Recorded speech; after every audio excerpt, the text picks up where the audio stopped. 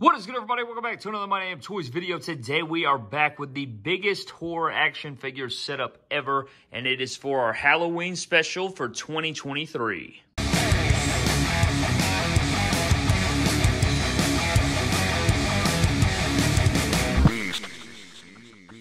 Welcome back, ladies and gentlemen, to the channel for the 2023 Halloween special here today, man. Very excited for another horror action figure setup. Today, it is the biggest one ever on the channel. And we're back in my damn kitchen, man. Until my office is finished, we're going to have to keep doing the setups here, man. But I can't wait to dive into it with you, take you through the entire setup, and celebrate Halloween. Hope you guys are enjoying your festivities. And we're going to celebrate a little bit here on the channel with this epic horror action figure setup. And of course, WWE figures included in here, man. So with that being said, let's dive into our setup, take you guys through it, and let you you guys in on all the action that we have here today. So I guess what we can do is start over here and we'll cover all of this and we'll work our way all the way to the end of the bar until we finish the entire setup. So over here in the corner, man, we do have the Unrivaled 13 Darby Allin and this Jason mask. I figured it would be a perfect time to showcase it here on the channel. Now, my buddy Michael actually sent this to me because he knew that I was a big horror fan and he threw the MDT colorway on there. Looks incredible. I love this Jason mask. I think it looks fantastic. I could even wear it if I wanted to, but I'm going to put it on display. I don't want it to, you know, I don't want to harm it or anything, but I figured it looked really, really good, so I wanted to showcase it here.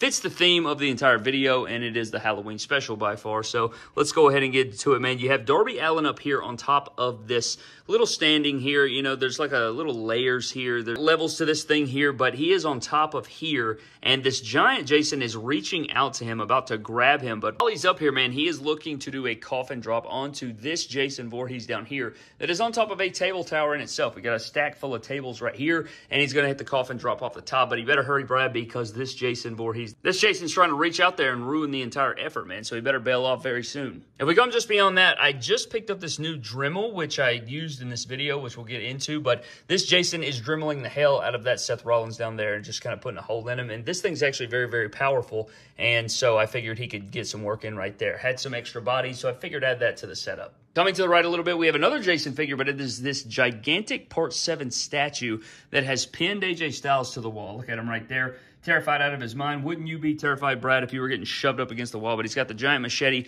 about to plant AJ Styles through the wall there, so I figured that'd be a nice addition there. The statues and the bigger figures scale nicely, you know, because they crush the smaller action figures, so I figured that worked out pretty well there. But if we come down here, you will see Goldberg getting a little offense in in the horror action figure setup. You know, we don't typically have the WWE or the wrestling action figures getting much action in. It's, you know, I try to give a little bit of a balance, but usually it's the horror action figures getting the comeuppance and beating the hell out of the WWE figures or, you know, destroying them. But in this one, Goldberg has impaled this Michael Myers with the pole there, and that, that's the same Michael Myers we always use with the impaling. I just think it looks great. He can grab the pole. It's getting shoved through there. That's a nice visual for the setup. Coming just to the left, man, we have Jungle Boy here who is stuck in this little two-tire little thing here that has pretty much trapped him, and Tiffany and Chucky are about to uh, do whatever, I guess. I mean, uh, he's terrified. You guys can see his face right there. He is, uh, he's, uh, he's very upset, uh, of course, as we all would be, but Tiffany and Chucky have him trapped right there. Not a good spot. Coming to the left a little bit, we do have this new part. I've never added the alligator to the setup, but we have a snake, a couple baby gators, and then we have this gigantic gator right here. And Dustin Rhodes is handcuffed with his head in the mouth of the gator. And you got Victor Crowley on top of there just going crazy. He just kind of reminds me of a hillbilly out in the woods, you know. Makes the most sense with the alligator and the different animals and things like that. So I could totally see that taking place. But yeah, not a good spot to be in for Dustin Rhodes. Handcuffed, you got Victor Crowley. I mean, look at that mug right there. So not a good spot for him, but the alligator is, uh, yeah, I mean, he's one snap away like Joe Dirt. Just beyond that, guys, we have another Jason Voorhees right here, but you guys can see he's already been impaled by one arrow, and then he pulled this other arrow out of his body. He's bleeding right here. He's a bloody mess, and he is attacking Stone Cold Steve Austin, who has this crossbow right here. And I just thought this was a nice visual for Stone Cold Steve Austin. So he's got the crossbow. He's shooting at this Jason who is just getting impaled by arrows and pulling him out. So he's trying to fight him off the best he can. But I figure Stone Cold knows how to shoot a crossbow, so I, I, felt like that fit pretty nice in the in the setup right here. And then we have this casket full of weapons. I guess he just found the crossbow in there and picked it up and started shooting. Right here, we have sort of the centerpiece of the setup, man. We have the wrecking truck right here. A lot of action going on on the truck right there. But this wrecking truck is running over Cody Rhodes. So you guys can see Cody Rhodes right there, screaming in agony. He has been partly run over, and uh, if you look in here inside the driver's seat, who is driving this thing? None other than Sam from Trick or Treat. So Sam is driving that thing. He ran over Cody Rhodes, and it's not looking like a fun time. I mean, obviously, oh God, I can't even imagine that. But you guys get the point. Sam's wrecking havoc here, and uh, pun intended, he's wrecking havoc on Cody Rhodes right here, who's getting run over in the front. And then just in front of that, we do have this beautiful custom MDT Cena made by BEW Customs. However, this was actually a gift to me from my buddy Steinsenberg Customs on Instagram or my buddy Cody. Huge shout out to him, man. Look at this sweet custom. I'm going to show this off in another video, but look at the kicks. He's got the Nikes on. It's just this Elite 100 Cena with this custom MDT colors, but he has planted one of these Jasons through a glass pane and it shattered and it went everywhere. So you got glass scattered everywhere, little bits of glass. The cinder blocks were propping up that glass pane and he went shattering through it. But the John Cena looks good. Wanted to showcase the custom. So I figured why not get some work in and showcase the kicks right there. I mean, look at this right here. That's pretty fire. So the John Cena has planted this Voorhees through the glass pane. Coming slightly to the left, we have another Michael Myers here. And this Michael Myers is slamming Sami Zayn's head into the door. Very common thing that Michael Myers would do. I could absolutely see this taking place. So Michael Myers is slamming his head in the door. And on top, we have Danhausen who is cursing somebody. So you guys can see he's cursing somebody. I don't know where the hell he's looking, but I wanted to include, you know, the very nice, very evil Danhausen in the Halloween setup. So I wanted to, you know, make sure I got that taken care of.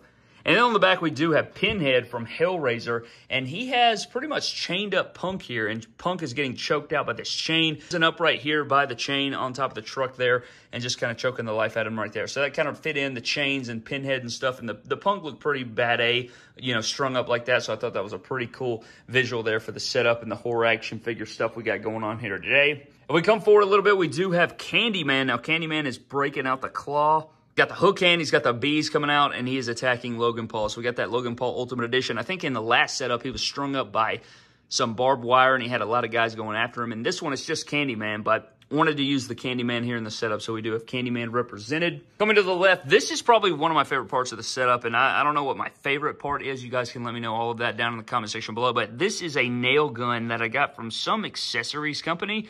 So it has this cool nail gun for this Chucky, and he is shooting Brian Cage. So you guys can see here, he is a bloody mess because he has put all these nails in the back of Brian Cage. So that's what the little pieces of silver right there are supposed to be. So you have the nail gun, and he is uh, working Brian Cage. So I thought that was a pretty nice one. He's screaming in agony. Fits perfectly. So you got Chucky shooting the nail gun into Brian Cage.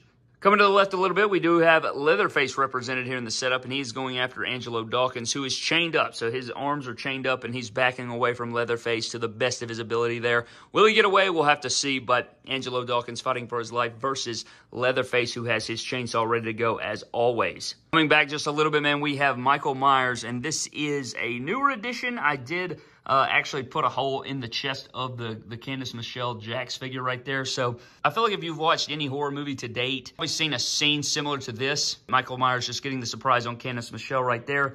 Leave a like for, for the damage done to the figures here today in this setup, man. We put some holes in some figures to bring the setup to life.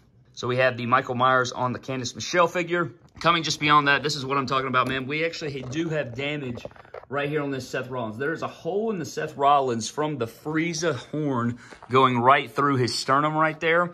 And then he is crushing MJF. So over here, he's crushing MJF.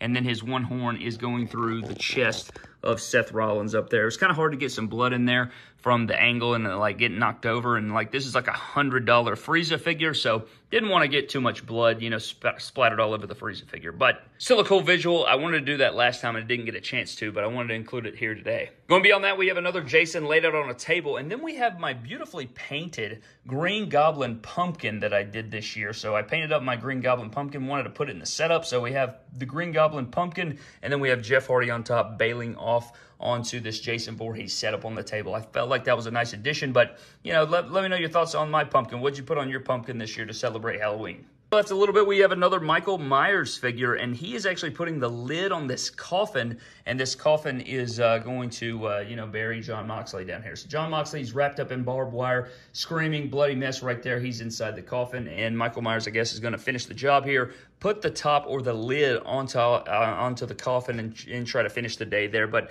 will he succeed? we'll have to see. But just beyond him, we do have Batista. I thought this was really funny. We have Batista loading up Crooked Man with a Batista bomb. I thought that it would be nice if he Batista bombed him onto Jason and then you finish him off with the Swanton after that. I don't know, but it just kind of looks funny with the Crooked Man, like his gear and how long and lanky he is getting Batista bombed. I thought that was a funny visual, so I wanted to include that here today. I don't know if that would even work, but I, I liked it, so I went ahead and included it.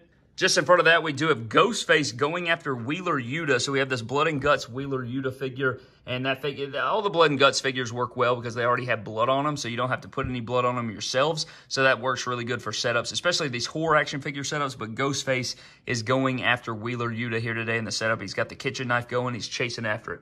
In front of that, we have another one of my favorite parts. We have Sting going to work here. This is my custom Ultimate Edition Sting figure, and he has swung for the fences and knocked this Jason Voorhees head off over there. So you guys can see it's a bloody mess. It decapitated him with the baseball bat. Great swing from the Stinger. What an icon. Probably could have been a Hall of Fame baseball player for all we know. Man was hitting dingers today in the horror setup, so he's got his trench coat on. He swung for the fences, knocked the head off of the Jason Voorhees, and I wanted to, to represent that here today. In front of that, we do have the nun, and she is uh, pushing the rock in this cart, and this cart is about to plummet off this countertop and go uh, hundreds of feet to the ground. So, you know, you'd be screaming in agony as well if that was going to happen to you. So we do have the nun pushing the rock in the, in the buggy there, and he's not too happy about it. I think we'd all look like this in this situation. Coming back on top, man, we do have Chris Jericho being pushed in this wheelchair. He's strapped into the wheelchair by this Jason, and he is about to get dumped onto this barbed wire little tapestry deal. It's not even a tapestry. It's just pretty much a barbed wire bed. It's a bed, of barbed wire. It's not going to feel good, Brad. It's going to cut you all up to pieces. So Chris Jericho's screaming there. He is strapped in. He can't go anywhere, and Jason is going to push him off into the barbed wire pallet that we have standing here in the setup today. Going just to the left, man, we have a couple cool things going on right here. This is probably another one of my favorite parts of the setup. We have this diesel figure here who is laid out, and uh, Freddy Krueger has done some experimenting here. So we have this head falling in the bucket there and everything going on right there. I wanted Freddy Krueger represented, and so I did add him here last minute to the setup right there for Freddy Krueger. And then this one's pretty cool because I thought it was funny that Pennywise is like laughing the way he is. And then you have the, you know, the remake Pennywise riding shotgun pulling a chain. So they're in the car driving. I just thought that was a funny visual for OG Pennywise. And then you have this chain that goes through and then you have a bagged you have a bag on the head of Miro getting drugged by the chain behind the car. And I thought that was a pretty interesting visual right there. So you got both Pennywises kind of double teaming there, driving the car, dragging the bodies behind. And you guys can see this giant T-Rex right here, which has taken out a few people already, and it is eating somebody currently. So you guys can see that the T-Rex has, uh, or the, not, it's not a T-Rex, it's the Gigantosaurus Actually, I don't know if it's Target exclusive or what, but we have the Gigantosaurus represented here eating that man there. You guys can see his legs flaying all over the place, but we have some uh, additional people that have been taken out by the dinosaur or the Gigantosaurus, and that is right behind our Pennywise double team right here, pulling the body of Miro behind with the chain and bag. Coming to the left, man, this is pretty freakish. We usually have Brock Lesnar getting some offense in, and none other than today, man. He has not used any weapons. He strapped down Michael Myers, and then he just beat the brains out of Michael Myers, literally. So that's what we have represented right here, man. Another crazy visual that I just thought looked really cool here in the setup. So you have Michael Myers laid out on the table, strapped down, and Brock Lesnar just beat the piss out of him. We've seen him do it in UFC, and he brought it into the into the horror setup today. Just beyond the car, we do have Hulk Hogan getting taken out by Jason Voorhees right here. We have seen this for a while. I think we made that Hulk Hogan custom like with the hole in it a while back. I think it was last year or something like that with our horror setups. And I think that, you know, that video does pretty well on the channel. So if you guys missed that, definitely check that out. But we brought it back here today with the uh, machete through the sternum of the Hulk Hogan figure. And then we do have this gigantic Jason here represented holding out this edge figure. And so you're probably wondering why his hair is blowing backwards. The hair, the reason why his hair is blowing backwards is because he, I, I, think about it like Iron Giant, you know, he like picks up a guy and then like spins around and throws him around so his hair would be blowing all over the place. But he does have this uh, weapon here about to take out Edge, but uh, it's holding the figure pretty well there. So I was pretty proud of that gigantic Jason NECA figure. And then if we go behind the Jason, we go over here. This Braun Strowman's getting choked out by this Jason. That is, uh, this is like a spiked collar deal. I think it came with Crocmaster. It's like what he puts on the alligator over there eating Dustin Rhodes' head, but it is choking out Braun Strowman in our setup today. I'm over here behind the little black setup, behind the wheelchair and the uh, the Batista bomb, the Crooked Man. You will see Jason Voorhees shooting the spear gun at Matt Hardy, who is strapped down by this barbed wire little pallet here. So this Matt Hardy is strapped down as well, but you guys can see he's kind of... At first, I was going to put the nail gun here, so it would be like he's getting nailed to the pumpkin, but then I changed it to the spear gun. I just think that the Brian Cage visual looked better, in my opinion, so Matt Hardy is uh, getting shot at by the spear gun, and uh, I don't think it's going to matter if he misses because he's, he's pretty strapped down. That would be agony to get out of. On the other side of the Green Goblin pumpkin over here, we do have Triple H getting uh, kind of impaled by the forklift right here. So the forklift driven by the Ultimate Miner right here from My Bloody Valentine. He is going to, I guess, like pin him up against the pumpkin right there. So that's not good for Triple H. You guys can see his face right there. He knows what's coming, so not too happy about that. But Ultimate Miner, I feel like that doesn't scale well. I feel like he's gigantic compared to the forklift, but I think he gets it, you know, gets the job done, I guess, for the setup purposes today. Coming just beyond that, we do have General George Washington with his hatchet or his axe, and he has hacked up Michael Myers right here. You guys can see his hands missing, his foot's missing over there. So George Washington is getting a little bit of payback here, and he has taken out this Pennywise. So his leg's missing, his hands missing. You don't mess with General George, man. He's going to chop you up. You know, it's, it's what he does. It's what he does best. So General George is uh, getting some offense in here. Uh, I think it'd be a fun little matchup to watch. Michael Myers and George Washington go to war. I, I'm, I'm down for that all day. We come to the left, man. We do have Wardlow getting some offense in. I don't know what the hell's up with the lighting right here, but Wardlow is crushing Jason Voorhees this Friday the 3rd, not Friday the 3rd. This is the Freddy versus Jason version of Jason Voorhees. He is getting crushed by this can of Campbell's Chunky Creamy chicken and dumplings. It's very, you know, important to specify exactly what he's crushing him with, man. That's the chunky kind, so you know it's damn heavy, just crushing the back of Jason there. But usually it is a figure getting crushed or a, a, wrestling figure getting crushed, but I wanted to flip the script today because Wardlow's the man. And then last but not least, this is the Friday the 13th Part 2 Jason with this little saw right here taking out Cash Wheeler in the setup. So Cash Wheeler's strapped down up here, and then we have this part two Jason. You guys can see screaming, and then this part two Jason with this uh, this electric saw going ham right there. We've seen that visual a lot in the setups, but I wanted to get the electric saw some action. I don't think we've ever seen that one in a horror setup here on the channel, but that is the end of the, the kitchen setup right here, over here in the corner. But I think that pretty much is our full horror action figure setup to celebrate Halloween of 2023, man. Had a ton of fun setting this up. These setups do take a, a lot of time, man. I greatly appreciate a like and a comment what you guys think. And I'd like to know what you were for Halloween this year down in the comment section below. And of course, leave a like on the video, man. It'd mean a lot if we could get this video to a thousand likes